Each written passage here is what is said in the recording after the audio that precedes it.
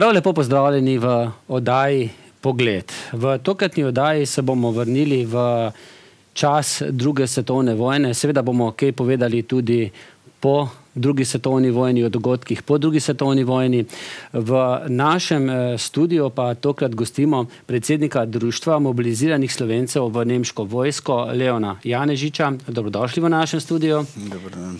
Z nami v studiu pa je tudi, eh, lahko rečemo, partizan, prvoborec in tudi nekdo, ki je bil prisilno mobiliziran v nemško vojsko, eh, lahko rečem tudi fotograf, eh, Milan Celinšek. Dobrodošli v našem studiu. Hvala. Mogoče čisto za uvod, eh, gospod Leon, eh, kaj je težišče dela vašega društva? Pa še predtem, eh, ko smo se dogovarjali za to oddajo, eh, je bil predviden eh, nekdo, ki je bil eh, tudi mobiliziran eh, v nemško vojsko, ki je bil na, Norveški, na Norveškem v času druge svetovne vojne, na norveških frontah in je žal umrl. Ne? Ja, predviden je bil gospod iz drugače iz Gorenske, živeči v Ljubljani. Bil je na finsko-norveški fronti. Žal pač med tem dogovarjanjem, da ga pripeljemo v vaš studio, je preminul. So ga pač zjutraj našli v stanovanju. Potem smo imeli tudi eh, drugo obliko. Sem vam želel predstaviti osebo, ki je dejansko bila zaradi eh, mobilizacije brata in pa očeta in pa kasneje so tudi uh, bila oba dva po vojni ubita, kar je ženska tudi dobila uh, status uh, žrtve partizanskega nasilja. Pa zaradi pritiskov sorodstva v današnjem času, ko je vse razburkano iz te, s to tematiko druge svetovne vojne in pa povojnih pobojev, in uh, pač uh, sorodstvo ni dovolilo, uh, da bi se izpostavljala pred kamero. No, na koncu pa smo prišli do mojega sokrajana, gospoda Milana Cerinška, ki je pa primer, uh, eden izmed primerov mobilizirancev, ki je bil tako na nemški strani upoklican v nemško vojsko, kot tudi na partizanski strani in pa kot človek, kot trboveljčan je tudi doživljal povojn, to povojno obdobje uh, v čisto drugačni luči, kot ga mnogi danes lahko razumemo. Tako da uh, sem kar prav vesel, da sem eh, gospoda Cerinška eh, pridobil z eh, to. No, gospod Cerinšek je naš član, on sam dobro ve, kaj mi vse počnemo, še vedno se borimo tudi za njegovo očkodnino iz Republike Nemčije, ki mu po mednarodnem pravu pripada. Če bi bili naši organi, eh, državni organi malce bolj dosledni do teh ljudi, Že od leta 45. Ma že od leta 45, ne? ampak če pogledamo od osamosvojitve Slovenije, bi je bilo mnogo teh prilik, da bi Slovenija vstopila do izterjave te očkodnine, ki pa dejansko ni mala. Kako se imenuje že? Fu ta odškodnina? Fu, eh, ne, odškodnina, ne, ne, odškodnina gre, eh, gre dejansko iz eh, sklada za po, poplačilo vojne škode iz nemških. Tako to bi red povdaril. Ne? Mnogi si še dan danes predstavljajo, da ti fanti, ne, mobiliziranci, iščejo očkodnino od Republike Slovenije, ne, od davkoplačevalcev Republike Slovenije. Vendar pa to ni res. Ne? Vso očkodnino ti fanti zahtevajo dejansko od Nemčije In mednarodna konferenca v Ljubljani, prva, ki je bila organizirana v Ljubljani, je jasno pokazala, da so vse evropske države, kjer so v času Tretjega rajha se izvajale eh, mobilizacije, na okupiranih območjih so te države tudi prejele, oziroma ti mobiliziranci prejeli odškodnine, razen Slovenije, kot edina evropska Mesečne odškodnine, država. kako je šlo to? Odškodnine so bile odvisno od države do države. Nekatere so bile izplačane v enkratnem znesku, recimo kot je bilo primer 95. leta Francija. Ne. Za Slovenijo bi bilo pa to malce drugačne, ker je bilo pa poprečna doba mobiliziranca v nemški vojski tri leta. Ne. In glede na to, da smo mi zahtevali točno tisto, kar so francozi kot zadnji leta 95 dobili, to je bilo pa po 1200 evrov za vsak mesec prebit v nemški vojski. In potem bi bil ta dolg Nemčije poplačan v celoti. Ne? In, ampak država je tu eh, spet pokazala tista svoja dvojna merila, tisto popredaljčkanje, eh, ker država je pristopila za očkodnino recimo pri, eh, za izgnance, ki so jo pred leti dobili, ne, ni pa nič storila, da bi eh, to očkodnino zahtevala tudi z eh, prisilno mobilizirane. Ne. Z izgnance je celo eh, najela odvetniško hišo v Minihnu, ne, medtem ko bi kot stranski intervent lahko vstopila v dogovor z Nemčijo. Nemci, Nemčija je pa pripravljena se o teh rečeh pogovarjati, ne, ker je vprašanje odškodnine še vedno odprt in nikoli ne zastara. In naš zahtevek je podan tudi svojcem, tudi svojcem, kajti mi imamo v svoji uh, uh, Evidenci. zakonodaji ne, tudi dedno pravo. Ne. In če vi danes lahko podedujete po očetu, recimo od hiše, zemljišča, avtomobila, in če mogoče še kak kredit imel, morate še celo ta kredit po pokojniku vrniti, da lahko podedujete hišo, potem se lahko tudi podeduje uh, uh, Ta ta odškodnina iz Nemčije, kar pa tudi ne bi spet bil prvi primer, eh, kajti v Luksemburgu in Belgiji je že bilo tudi po dednem pravu to uh, sprejeto. Vendar je pa vse v rokah naše, vla, uh, naše vlade oziroma našega zunanga ministrstva za ta sporazum iz Nemčijo. In dokler mi nimamo teh eh, stvari rešenih, se mi tudi ne moremo obrniti na mednarodno sodišče v Strasburu, lahko po nekih drugih kanalih, ne, seveda, ampak eh, lete, bistvo je, da tu bo moral priti do, morali priti do sporazuma med Slovenijo in pa med Nemčijo. Kakorkoli, ljudje so to škodnino morajo dobiti. Ne? Ta To je. odškodnina je, če, je, če so jo dobili vsi mobiliziranci, tudi članice, iz članic Evropske unije, potem je tudi na tem, da jo dobijo slovenski državljani eh, uh -huh. po mednarodnem pravu. No, in to je eno od eh, pomembnih težišč dela eh, društva, mobiliziranih v eh, Slovencev v nemško vojsko. vojsko in bova še potem tudi v nadaljevanju kakšno več rekla o drugih aktivnostih. Zdaj pa že tudi čas, da damo besedo gospodu Milanu Cerinšku. Uh, vi pa ste bili, lahko rečemo, uh, prvoborec, zelo močno povezan z ustanovitvijo revirske čete v Ja, Zasavju. Dajte malce to razložiti. To se je zgodilo recimo avgusta 41. leta. Ja, takrat, ko je bila ustanovljena uh, revirska četa, gor na Čebinah, ne, uh, sem jaz prvi stiki s partizani, 18 jih je bilo, eh, 16 ali 18, ki so se zadrževali na območju eh, Čemšniške planine, v Tinetovi koči.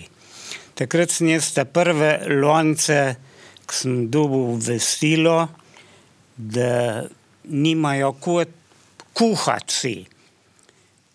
Kvečin lahko si kaj pogrejejo v tistih kogširi, so včasih rekli ne, Nemci. Tam ti so imeli tiste posode, drugih posod pa ni bilo.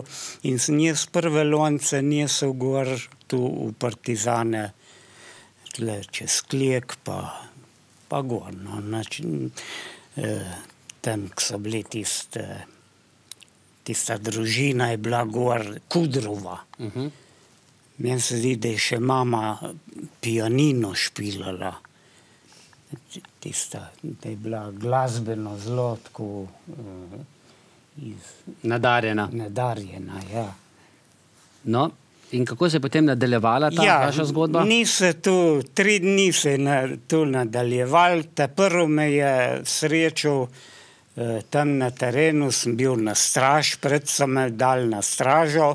Ampak, ne, Težko mi je bilo povedati, da še nisem njemu puške v rok, ampak na straž sem pa bil, ne? ga ostavim, pa pravi, ja, Milan, pride hokrat, hokrat, luje sem jim, prav, kaj pa ti tle delaš? Jaz sem rekel, prišel sem gor, bom tle ostal.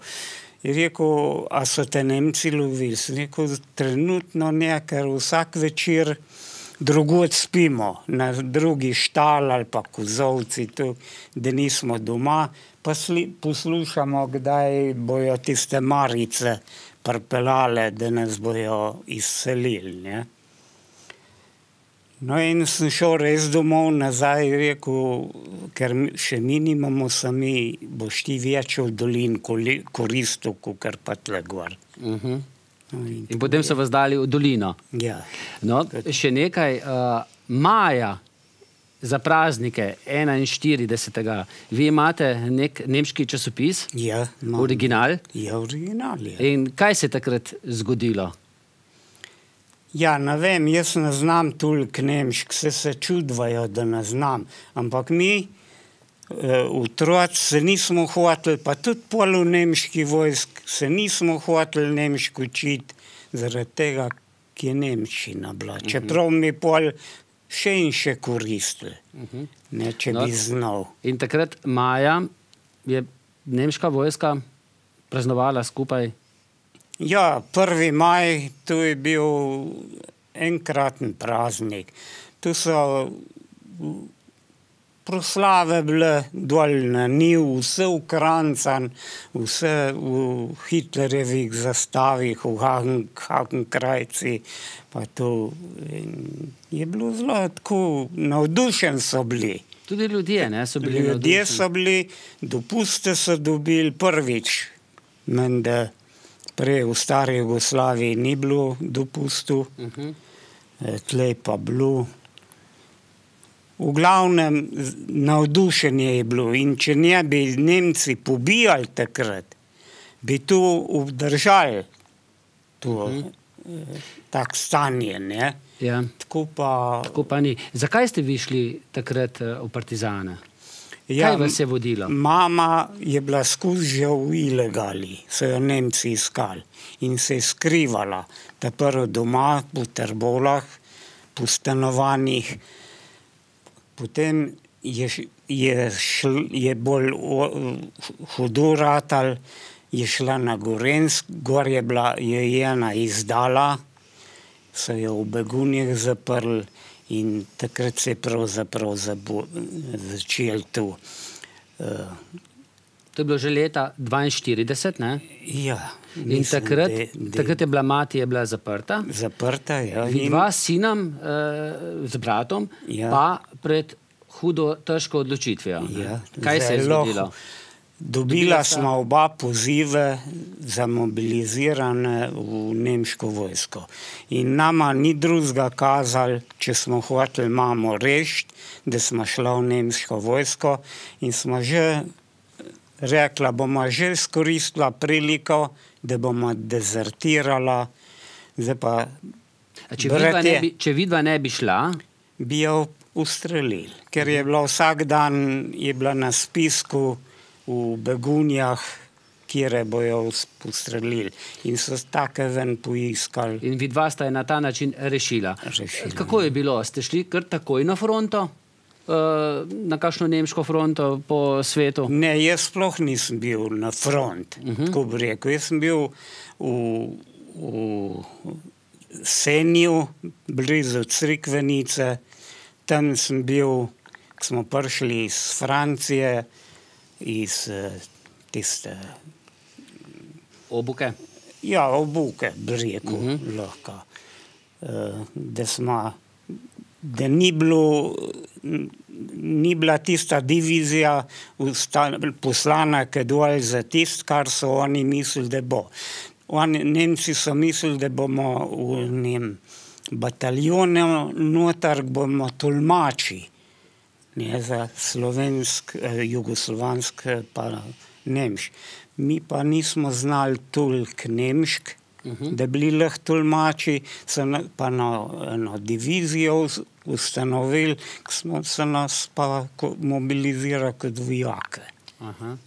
Zdaj, vaš brat je bil poslan na rusko fronto? On je bil pa poslan, ja, ta prvi tlagor v Nemčijo, Krotošin, menda,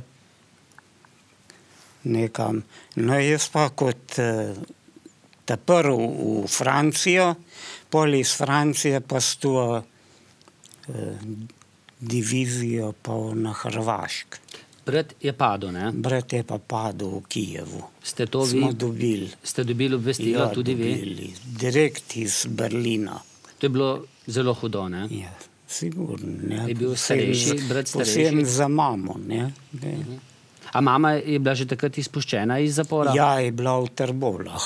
Na, naprej je pa delala in po AFŽ liniji. ne. No, vi ste bili pa koliko časa potem uh, v Senju v nemški vojski? Kdaj ste pribegnili? Ja, na zimo, eh, pravzaprav maja, smo prišli dol. Tukaj se spomnim, da smo se še kopali v Murju, pol je pa, pa taka burja ratala in se je kar stopnjevala.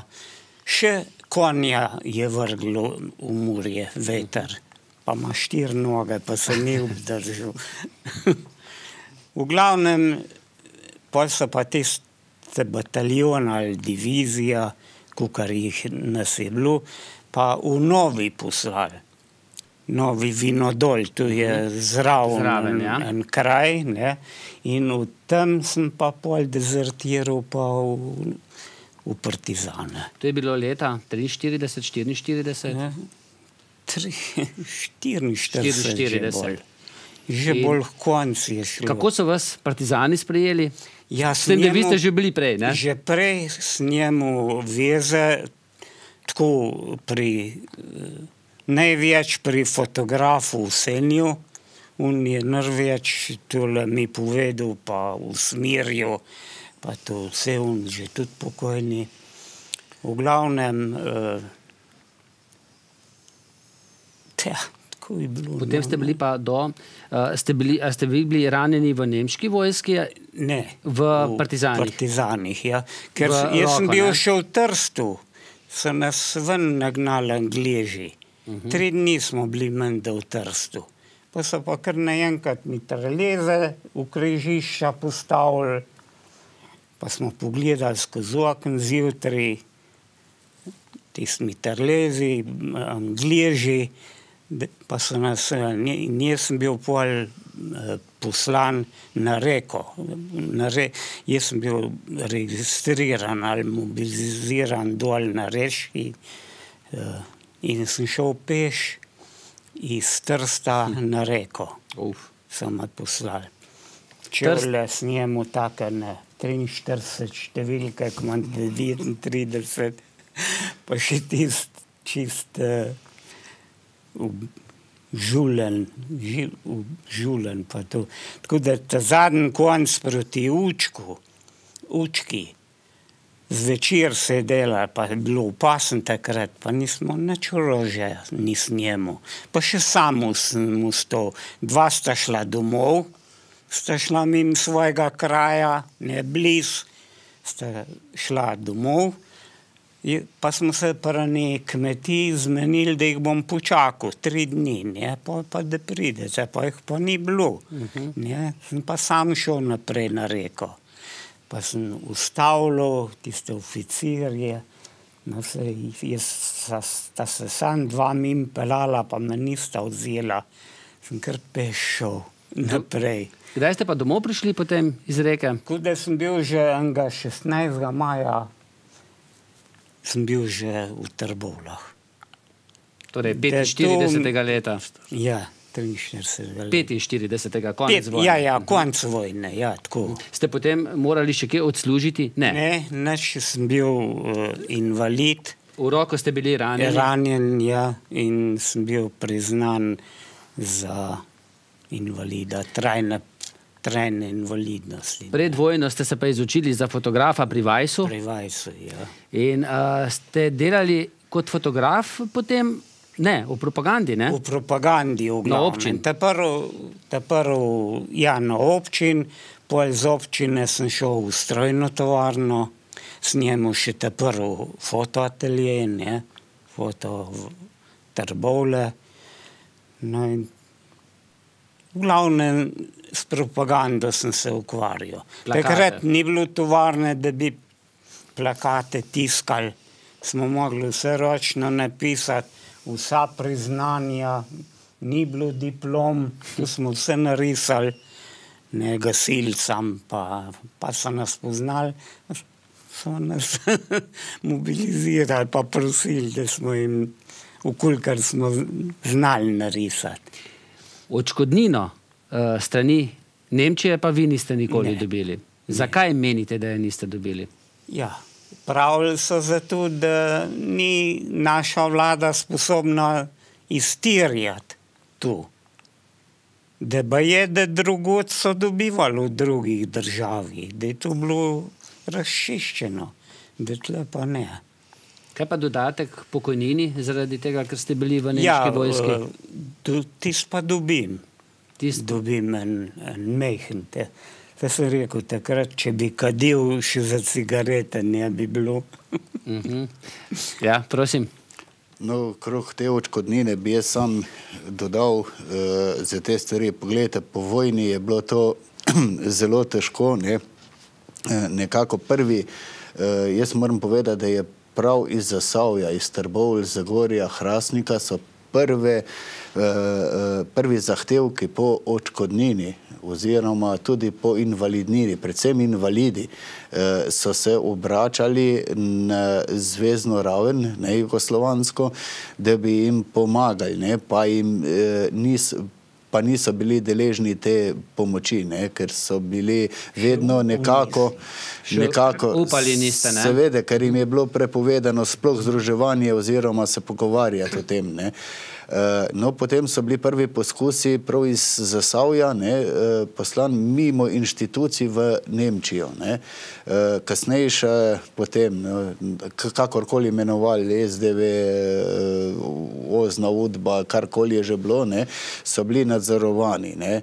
So bili nadzorovani in celo iz Trbov ali pri Dežmanu, ne, tam, ki je ta znamenita trgovina, ne, so bili tudi te prve zaslišanja, aretacije in pa teh reči. Ne. No, potem je ta odškodnina bila tudi zahtevana iz strani Josipa Broza v Nemčiji v dogovoru Tito Brandt, vendar so bili neuslišani eh, njegovi zahtevi, zahtevki, ker so želeli, da se to preda Jugoslovan, eh, na jugoslovanski proračun in da bi znotraj inštitucij Jugoslavije potem podelili to odškodnino. Pa Nemci niso želeli tega, ker so imeli slabe izkušnje in so vedeli, da ti fanti ne bojo tega denarja dobili. Ne. No, pol je pa ta do, znameniti dogovor Tito Brandt ne, bil, ker so bili pritiski po očkodninih tako močni, ne, da je že mogel nekaj narediti. Ne. In se je takrat sposodil. Dogovor Tito Brandt je bilo takrat z milijardo pa pol men, eh, nemških mark eh, kredita. In in pretirano v Beogradu, da je to bilo kot eh, eh, odškodnina za obnovo Jugoslavije, v kateri je ušteta tudi mobilizacija. Tako so mobilizirance utišali, da niso imeli zahtevko, pa še večje pritiske. Eh, Medtem ko. Sami pa verjetno niso.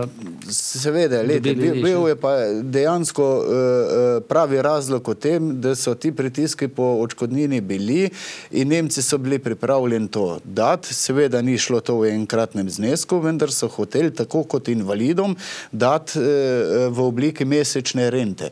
Ta mesečna renta bi bila pa potem veliko večja, kot je pa bila bilo katera boržovska pokojnina.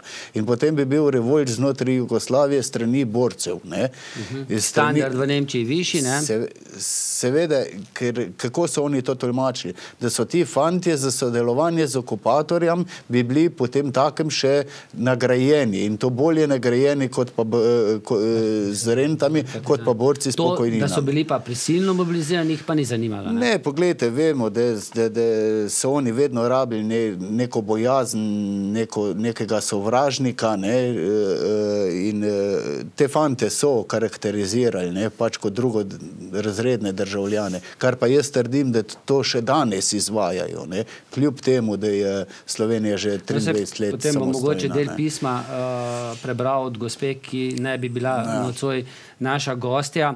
Uh, vi pa se niste čutili ne, po drugi svetovni vojni, da bi bili drugorazredni. Ali ste kdaj slišali, da ste nemški vojak, uh, Kul, kljub krat, temu, da ste bili v partizanih? Kljub temu. Se nisem upal povedati, da sem bil v nemški vojski.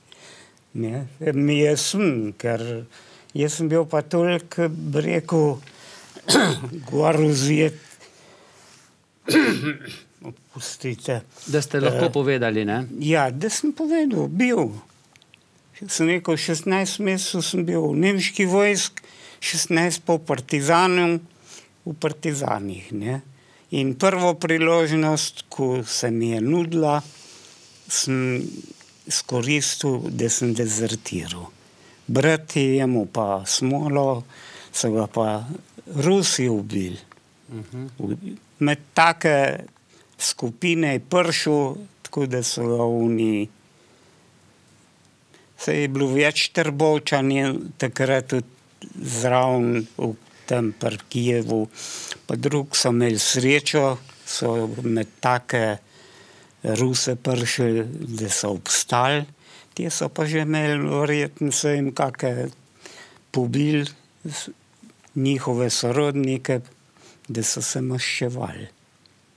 Drugače ne, m, kot dezerter, ne vem, če bi tu zaslužili. Uh, po kratkih oglasih uh, bomo pa pogovor nadaljevali. Prosim.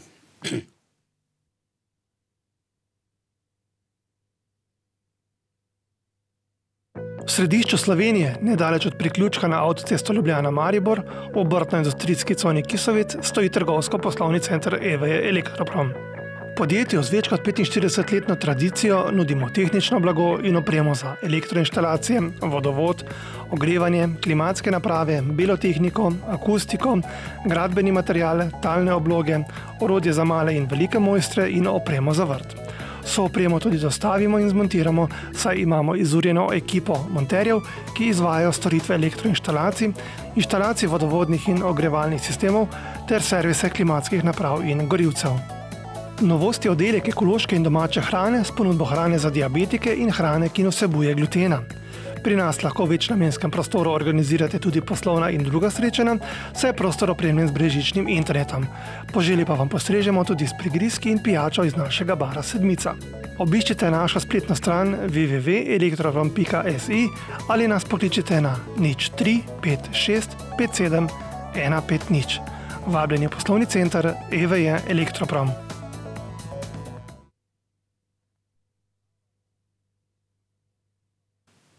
Evo, spet smo nazaj. Med eh, reklamami smo slišali eno zanimivo zgodbo od našega gosta, Milana Cerinška. Vi ste se, vaša družina se je kar precej dobro poznala z revolucionarjem, kaj je že pač bil, Miho Marinkom. In, in orožnikom. Ja. No, in kako je bilo to poznanstvo z uh, Miho? Vam je kaj eh, koristilo potem po vojni? Ne, ni, ni bilo poznanstva več, tudi spomina. Ne, Kako je bilo pa prej? Ja, neč. Včasih sem ga kaj prosil za trbole, rečemo za vdajni kum, pa obljubil še, da bo posredoval, pa se zanimal, ampak iz tistega ni bilo nič pol. Kako ste se pa prej poznali, pred vojno? Ja, prej je pa pri nam drve žagu, pa jedo, spal, ne se smo imeli kuhinco, pa malo spalnice je bilo, tudi smo kar jedni zraven drugega spali. je bilo vse po partizanski že takrat. Že takrat. Ja. Po vojni pa potem ni našel glih dobre Ne, besede. Tudi sem veliko sem fotografiral tele prireditve, pa obiske v Trbovlah. Pa sem ga včasih hotel kaj nagovoriti, pa ni bilo časa ali pa. Je. Ste bili premehni, ne? Ja, verjetno. Ja. Uh, no, uh, Leon, prej sva pred oddajo sva govorila tudi o tem zanimivem pismu. In sicer uh, prišel je iz Norveške, uh, norveškega zgodovinarja, ki ga zanima kaj. Ja, poglejte, ne. Dogaja se, da uh, vse tole ni edini primer. Ne. Mi smo dobili tudi iz Finske že pred uh, leti, ne, še ko je bil prejšnji predsednik Andrej Zorko med nami. Uh, razna uh, uh, zahtevke, če bi lahko poizvedeli, kaj se je z ljudmi dogajalo. Eh, Tale zgodovinar, ki mi je v mesecu februarju poslal spisek eh, dejansko ujetnikov eh, nemških vojakov, med katerimi je ogromno eh, tudi slovencev, Tudi za Savcu. Ne? tudi za Savcev, eh, tako da in tega možakarja zanima pri pregledovanju njihovih norveških arhivov za časa druge svetovne vojne, kaj se je s temi eh, eh, fanti eh, dogajalo, ko so prišli v matične države. Ker to so bili ujetniki in so bili izgnani iz eh, eh, Norveške. Eh, bili so prepeljani v Subotico, v zbirni ujetniški center. In iz Subotice so jih potem pošiljali v svoje razne kraje, kamorkoli so jih poslali, večinoma. Uh, tule sem jaz za enih par priimkov, uh, ampak to je res čist neuradno, pošaljno. Uh, pregled mimo eh, grede eh, ne enega ne leto, ki je bil prepričan, da mu je brat umrl na fronti. Ne. Eh, daleč od tega, da bi vedel, da je njegov brat bil izgnan iz Norveške, da je prišel do Subotice in da so iz Subotice potem kompozicije z vlakom jih poslali do zidanega mosta, tam pa je se je zgubila vsaka sled za, za njimi. Ne, kar m, daje vedeti, ne, da so dejansko bili ti fantje eh, eh, likvidirani. Kje so, po nekaterih podatkih, kot sem jaz govoril v Muzeju novejše zgodovine, je možno, da so na treh lokacijah, se pravi Teherje, Huda jama in pa Stari Hrastnik. Ne. Eh, zdaj, glede na to, kako se odvijajo vsi ti pregledi, je vprašanje, če bomo kdajkoli zvedeli, ne, kaj se je dejansko naredil. Je bil pa možakar zelo pretresen, ker je bil prepričan, da mu je brat padel na, na, na fronti kot eh, vojak. Ne. E, niti slut, sluto ni, da mu je bil brat toliko blizu. Ne. Da je bil že v Sloveniji, Jugoslaviji, osvobojeni Jugoslaviji. In, uh, lejte, prehitro so prišli domov. Ne. No, na vas se včasih uh, obrne tudi uh, kakšen, ki je doživljal čase po drugi svetovni vojni v drugi luči kot uh, naš sogovornik, ki nekako uh, je kljub temu normalno preživljal dobo po drugi svetovni vojni. In uh, neka gospa, ki bi naj bi bila tokrat gostja, je zapisala, Sama sem bila na slabšem položaju od otroštva naprej kot izbrisani. Uh, to pismo je napisala v času, ko se je veliko govorilo o izbrisanih. Uh, tudi prebral bom tako, kot piše. Saj so me v prejšnjem sistemu obravnavali kot otroka od Nemškutarja in izdajalca naše domovine, in zaradi tega, ker je oče šel iskat mojega najstarejšega brata Toneta ki je bil nasilno mobiliziran v nemško vojsko. Takoj po osvoboditvi pa so prišli po njega partizani in ker je na dvorišču slep ležal na ležalniku, zaradi tega, ker mu je v vojni raztrgalo obraz in oči in je bil iz vojske odpuščen predčasno kot slepa oseba. Po njega so prišli z izgovorom, da ga bojo izprašali, ker pa se do večera ni vrnil, ga je šel oče iskat In tako se tudi oče več ni vrnil, kljub temu, da oče ni bil v nobeni vojski. Oba so likvidirali v Kidričevem, grob ni znan. Med nami pa so se po vojni znašali ter materi odzeli stanovanjsko hišo, izpraznili vse stanovanje in odpeljali vse, kar je bilo vrednega pohištvo, mati pa je ostala sama s štirimi mladoletnimi otroki. In tako, in tako sem zaradi pomankanja zbolela za rehitisom in slabokrvnostjo, v 12. letu pa se mi je začelo kriviti hrtenica. Sozami v očeh sem gledala svoje sošolce, sošolce, ki so bili otroci borcev, nekateri tudi samo na papirju, vendar so oni šli na morje in v razne kraje, kar pa je meni kot otroku Nemškutarja, kot so nas imenovali, bilo onemogočeno. Mama je dobivala edini dohodek od Fulde, to smo prej govorili, od katerega pa je morala plačevati stanovanje v lastni hiši, kar pa je bilo premalo za številno družino. Pa še, to pa je ena tragičnih zgodb otrok, uh, ki so bili otroci nemških vojakov. Uh, je bilo tudi, ste tudi vi poznali kaj teh uh, mobiliziranih, prisilno mobiliziranih v nemško vojsko, ki niso imeli potem lepega življenja v svobodi? Ja, ne bi rekel, da si, je bilo pa tako res, da si se bal povedati, da si bil v nemški vojski, si se izogibal vprašanjem tašnim. V glavnem,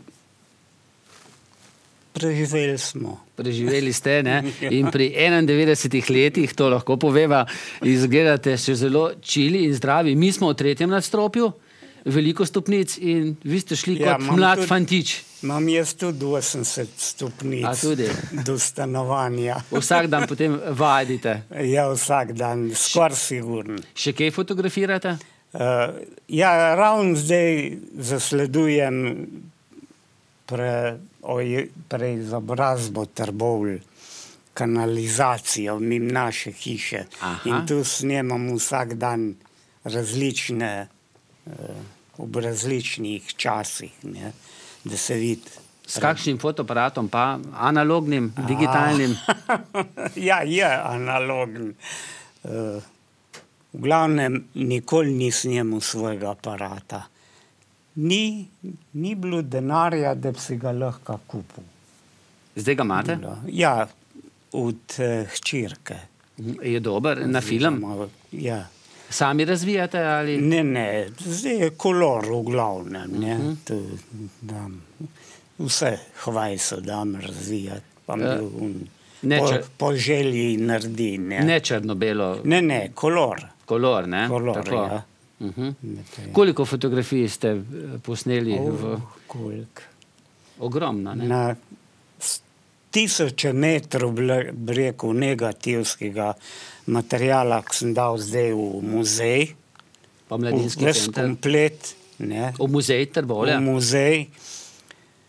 Zdaj sem še tu dal uh, slike, kar imam kronološko noter za vse te posnetke sem tudi dal uh, Facebook ali kako se Aha, reče. Na, na to se jaz ne, ne spoznam. A bo kaj nastalo iz tega? Bo kakšna monografija? Ja, saj tu je, da se bo dal dobiti. Jaz do zdaj sem držal bolj za sebe. Pa tam, pa tam sem dal kjer za na pogled, če so rabili, rečemo, za kako diplomo študenti ali pa kaj, tudi ti sem dal. Uh, v glavnem, pa nisem dajal, ker so mi pokradili. Se prazen, ne le sem pustil odprt tam, da je praznina na listu, ne. sam koga je bilo pa gor slikan, ne, pa ni bilo na, na vseh. Tisk sem vedel, sem pol počas dopisoval. Aha kar pa nisem vedel, sem pa odprt pustil in tudi ne vem, kje slike so tam bile. V glavnem, presenečen sem bil, toliko sem jim pomagal, pa riskiral, da bi do tistih podatkov prišel, na zadnje so te pa oškodovali, tako da ti niso nazaj dali. Groza. Uh, ste na koga prenesli ljubezen uh, fotografiranja? Ne, ne bi rekel. Edin eh, hčerka, ta starejš, je podedovala mal, mal te stare stvari, zdaj unama hišo sni tudi vse, ti se odmaknil gor stran, v, da je arhivirala. Aha. Jaz sem spravil skupaj, unama pa zdaj v gor. Da, če bo kdaj interes, katerega. Uh, Do zdaj ni bilo, pa s njim ponujil. Tule imam, tule imam. Dete, če boste kaj rabili, jaz imam velik, ne vem, koga vi rabite, na občino ali pa n- ni, ni bilo odmeva. mogoče bo po tej vdaji kaj, ne? Ja, mo mogoče še Mogoče, pozneje. ja. Bojo ljudje tašen, se mečkar zastopili na to. No. Prav pride v čas pogledati nazaj. Tako. Uh, pred časom smo se pogovarjali, ste dejali, da je vaše društvo deprivilegirano proti drugim podobnim veteranskim združenjem. No, ja. Kaj ste menili, no? natančneje, kako je glede financiranja urejeno? No ja, pogledajte, zakon o žrtvah vojnega nasilja ne, je v Sloveniji čista farsa. Ne. To danes lahko potrdim. Eh, Je že ene, kar ene 4-5 let zdaj le spremljam, kako se to financira, kako to gre. Ne. Poglejte, eh, Zveza mobiliziranih slovencev nemško vojsko je zadnje dve leti od aprila 2012 pa vse do danes eh, država dobesedno pozablja. Ne, ne da niti centa. Niti centa. Medtem ko je vseh sedem skupin ne, v tem zakonu noter pa financirano eh, po nekem meni nerazumljivem ključu, ne, daleč od tega prednjači Zveza borcev za vrednote NOB, ne, eh, ki eh, pobere cirka 60% vsega tega denarja, ki je namenjen za vseh sedem skupin, ne, potem so še ostale veteranske organizacije. Ne. Skratka, samo mobiliziranci so pa iz čisto nulo. Ne. Iz čisto nulo enostavno ustavili so, jaz razumem, da je kriza, ne, ampak lete, eh, ne razumem pa tega zakona, eh, ker eh, če pogledamo eh, pri teh organizacijah, pri teh eh, financiranju, je, je dejansko tako narejen, da na prvem mestu, kot je Zveza borcev za vrednote NOB, oni so eh, upeti v samo to politično dogajanje vsakodnevnem. Ne? In eh, tudi eh, nekako privesek eh, političnim strankom, čeprav se deklarirajo kot eh, apolitična organizacija. Ne? Uh, zdaj spominjati se partizana ali pa d- borca, ne, ki je uh, umrl kasneje, ne, ali pa mobiliziranca, je tu, če damo na tehnico, ne, mislim, sramotno dejanje. Ne. Nekdo za nič evrov, ne, nekdo pa v milijonskih zneskih. Ne. Uh, jaz, kolikor sem to pregledoval samo v le, lanskem letu, ne, je preko je eh, pre, okrog 980, os, ustvari 890 tisoč evrov prejelo samo uh, uh, Zveza borcev, medtem ko mobiliziranci nič. Ne? Uh, da ne govorimo potem financiranje programov skozi občine, ne? ki je dodatna, so dodatna sredstva. In v tem zakonu skozi žrtve vojnega nasilja se ogromno denarja premeče. Ogromno denarja gre tu skozi, medtem če pogledamo v teh kriznih časih, ne, ko smo, da ljudje nimajo niti za zdravila, kamoli še za zdravnika, za hrano, ko so vrste na rdečem križu in pa karitasu za hrano, pa se na drugem koncu enostavno premetava ta denar, da je, eh, eh, da je ojoj. Ni ga meseca, da ne bi bilo prireditev, da ne bi bilo jaz rečem klobasijat. Ne? In dobesedno se to, dog se, se to dogaja. Jaz bom vse živo naredil, da se bo nekako uravnovesil, nekako dal uravnovesiti eh, ta, eh, Proračunska sredstva. eh, ta finančna sredstva skozi ta zakon, da bo nekje eh, primerljivo, pa naj se spominjamo vsak svojih mrtvih, ne, dejansko ne pa, da je ta denar eh, izkoriščamo v eh, eh, politične namene, kar se pa dejansko to dogaja. Ne. No, uh, v eni izmed prejšnjih oddaj med nami smo v tem studiu gostili Lajnarja ne, in v sodelovanju, zdaj sem zvedel, z vašim sorodnikom uh, Jožetom Ovnikom, smo se dogovorili, da bo za naše znane goste uh, naslikal karikaturo. In uh, čast mi je, da vam lahko tokrat karikaturo, ki jo je vam narisal, podarim vam. Uh, zanimivo je tole. Uh, bom malce dvignil salumin, prepovedano s kolesom. Lahko malce pojasnite to karikaturo? Ja, Zdaj je to vaša. Hvala lepa. Uh, ja, lahko to komentiram. Ne. Jaz upam, da bo to tudi tako ostalo. Lejte, treba nekaj vedeti. Ne. Avtor te karikature ne, je Jože Ovnik, drugače moj bratranc. Uh -huh. Uh, on je velik ljubitelj kolesarstva, ne, kar mu nisem nikoli uporekel in zaradi mene lahko on kolesar od železniške postaje pa vse do podmeje, če bo za to narejena kolesarska steza tam. Ne, vendar pa uh, to je posebna zgodba. Jaz sem bil uh, uh, nekako pobudnik, uh, v stvari sem uložil uh, spisek podpisov, ki so nasprotovali umestitve kolesarske steze skozi naselje Salomines. Ne. Tam, kjer je zakonsko že zapisano, da je peš cona, da je šolska pot in skozi naselje, ker se otroci igrajo, eh, ker eh, tekajo otroci tam eh, zaradi varnosti, sem uložil potem ta spisek na občino in nekako jaz saj upam preprečil, da se tam Eh, ne bo, ne bo umestila kolesarska, kolesarska steza, steza in da bo, bosta stala ta dva seveda, znaka. Seveda, ne. To, tole je eh, Jože, eh, jaz ga razumem kot kolesarja, ne, ampak mora on tudi razumeti, da ne, sred stanovanskega naselja, ne, Salomines, no, ne more biti. Vse je razumel, ne, ampak nekako vas je poistovetil s tem. S to Seveda. za vas uspelo akcijo. Seveda, ampak pogledajte, ne, vse tam ne gre se samo za otroke ali pa za neko cako, da ne bi bili kolesari. Tudi uh, ljudje, kot so naš današnji gost, ne, tam hodijo, uh, lete otroci, pa uh, kolesari, ko pa grejo, to včasih predvijajo, da je ojoj in uh, kaj lahko koga zbijejo. Ne. Ampak pogledajte, potem so tudi oni odgovorni. Če pa otrok preleti ali pa možakar stop na kolesarsko stezo, ne, pa ga zbije kolesar, ne, je, je pa, pa sam kriv. Ne. Ker je stopil na cestišče. Ne. Ne, to je to. To je to.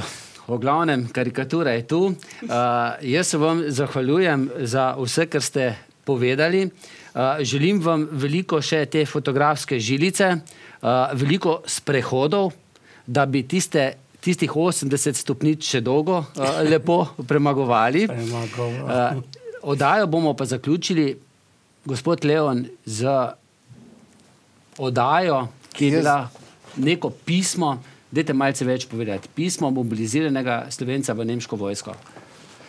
Pismo mobiliziranega slovenca v nemško vojsko. To pismo je prišlo v naše arhive, eh, dejansko odpadlega od eh, mobiliziranca oziroma od njegovega komarata, po domače povedano, ki je napisal to pismo in poslal staršem eh, padlega.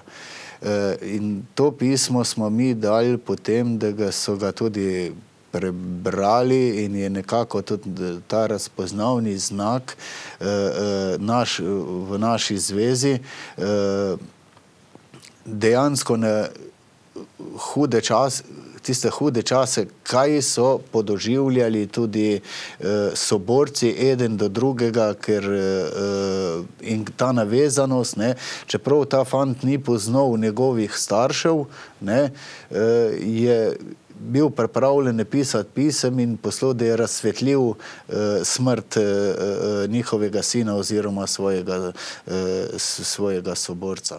Tako da, da uh, je to pismo uh, pri nas kar eh, odmevno bilo v mnogih oddajah, v, uh, ni pa edino, ne? mi imamo teh pism in pa teh reči uh, danes, vemo. Ne? Mi bomo pač ogromno. enega izmed teh predvajali. No, jaz sem vesel in se vam zahvaljujem na vaši televiziji, da posvečate, ker tole ni prva oddaja, ne, da posvečate toliko pozornosti tudi do teh pozabljenih uh, ljudi, ki so šele po tolikih letih ne, dobili moči in pa energije, pa tudi smelosti, ne, da izpovejo svoje zgodbe, svoje življenjske eh, prigode, eh, kaj so to preživeli, kako so to preživeli, kako oni to eh, svoje življenjsko delo danes razumejo. Ne, veste,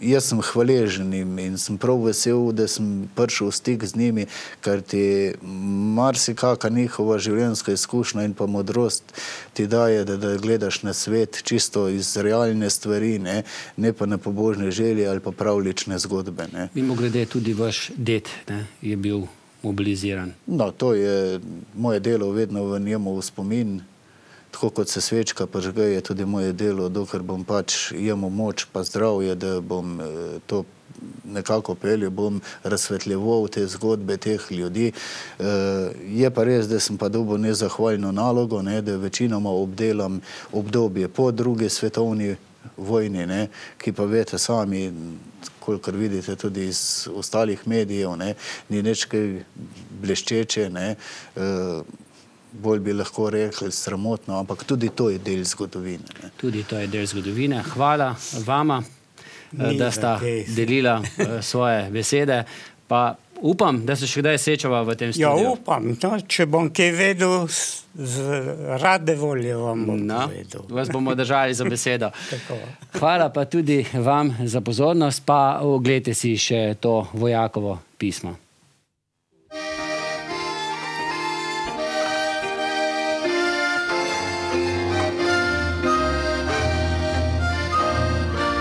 Vigberg 30.11.1944 Draga gospa, prav težko se odločim takšnemu pisanju, ali besedo moram držati in vam javiti to žalostno novost.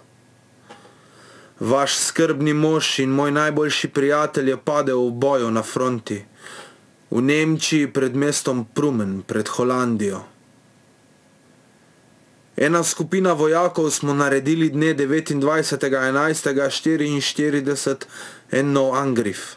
In kakor brata sva bila, dobra prijatelja, zmeraj skupaj pri spanju, hrani in tudi v borbah. Mislim, da vam je itak že pisal, da je imel prijatelja iz Maribora po imenu Kaufman Jože. Kakor sem že od zgoraj navedel, dne 29.11. ob 10. smo napadli Amerikance, kateri so bili že v Nemčiji zagnezdeni. Krogle so žvižgale sem ter tja, dokler niso tudi najo obiskale. Vašega moža je zadelo v sredino glave. Krogla mu je šla skozi štal helmo, zato je moral umreti na mojih rokah brez vsake besede. Od njega sem hitro vzel vojaško knjigo in v tem momentu sem bil ranjen v levo ramo. Takrat smo imeli ujetih že 12 Amerikancev. Bila sta pa še zmeraj v lukni tista dva, ki sta streljala na naj in po drugi strani je prihajala nova grupa.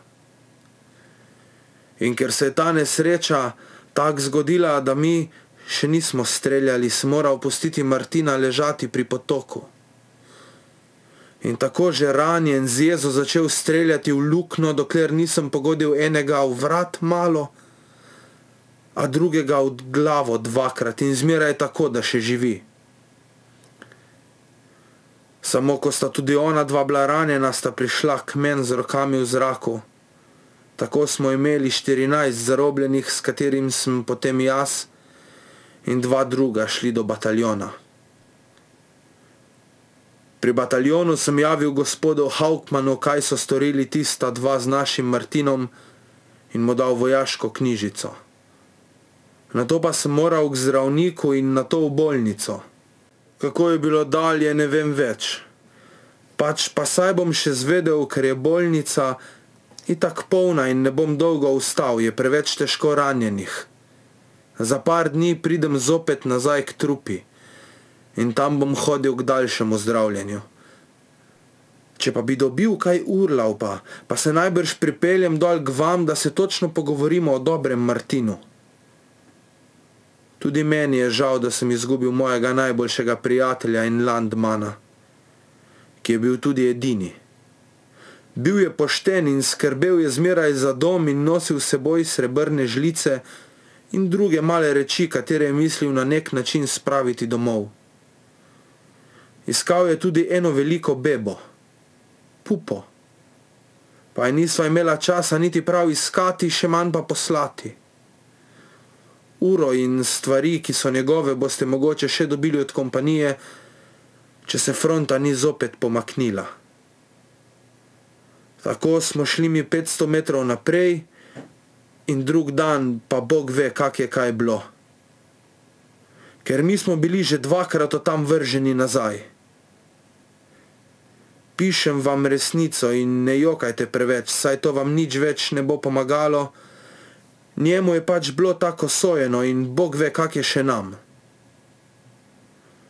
Prosim vas, tudi držite to pismo za sebe, ker jaz ne bi smel pisati in omeniti to. Takšne stvari omenijo Hauptmani sami, šele po 14 dnevih ali pa še pozneje. Sedaj končam z iskrenimi pozdravi. Vaš prijatelj Jože. Če pa želite še kaj vedeti, mi pišite. Vam bom od srca rad odgovoril, če bo mogoče. Moj naslov je še zmeraj enaki, kakor je bil tudi od Martina. 59623E. Odgovor bo sledil.